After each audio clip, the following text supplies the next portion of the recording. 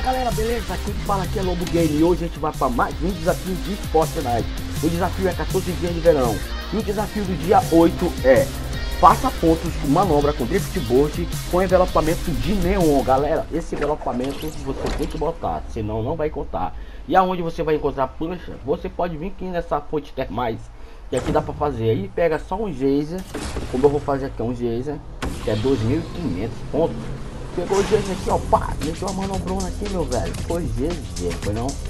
Aí sim, é difícil encontrar a plancha, mas pode fazer aqui no geyser, que é nós.